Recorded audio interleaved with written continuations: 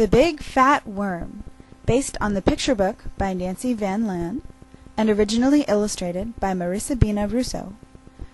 Adapted and told by Laura Schick. This is a story about a big, fat, slimy worm.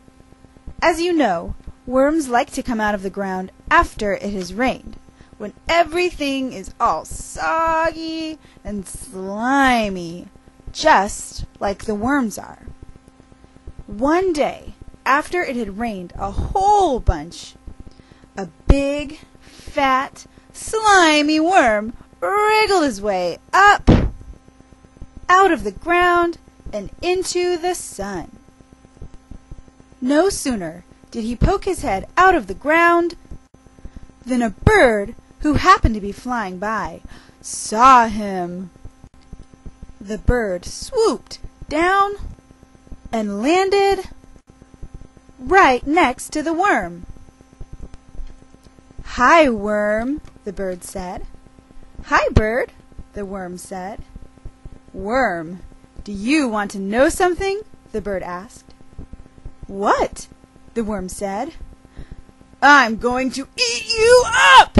Oh, no, you're not! the worm cried. Oh, yes, I am. Oh, no, you're not! the worm yelled. And before the bird could snatch him up, he wriggled back down into the ground, where the bird couldn't reach him, and he was safe. Phew! While the bird was down on the ground, trying to figure out how she was going to get that big, fat, juicy worm, who do you think came walking by? But a cat. Hi, bird, said the cat. Hi, cat, said the bird. Bird, do you want to know something? asked the cat. What? asked the bird. Well, I'm going to eat you up, said the cat. Oh, no, you're not.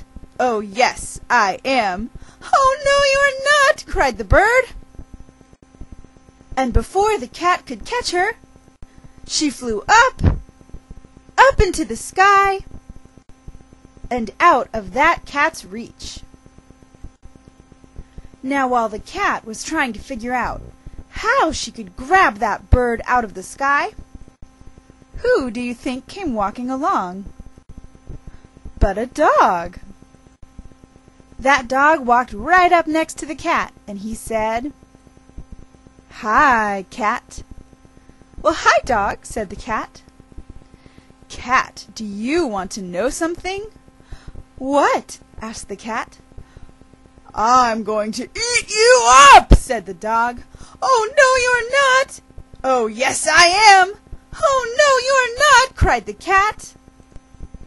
And quick as a flash, she scrambled up a nearby tree and found a branch where the dog couldn't reach her. Phew! But the dog was still hungry, and so he waited for that cat to come down for quite a while.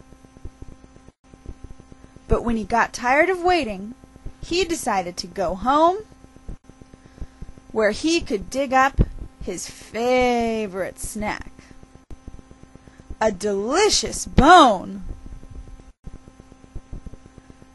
So he took that bone and he went to chew on it in peace and quiet, away from that cat.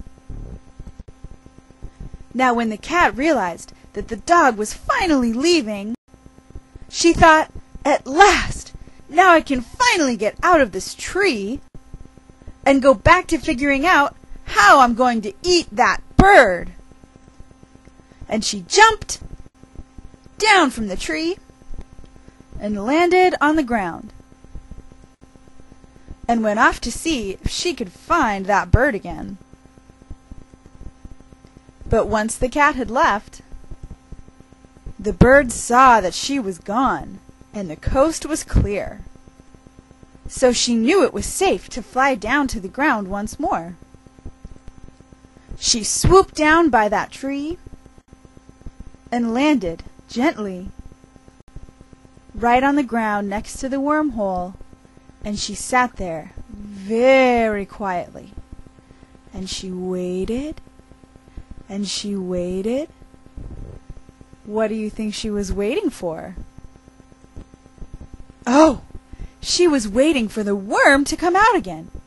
And finally he poked his head up out of the ground, and he wriggled his way up into the sun. And as soon as the worm was all the way out of the ground, what do you think happened? The bird said, Hi, worm. And the worm said, Hi, bird. And the bird said, Worm, do you want to know something? And the whole thing started all over again. And that is the story of the big fat worm. The end.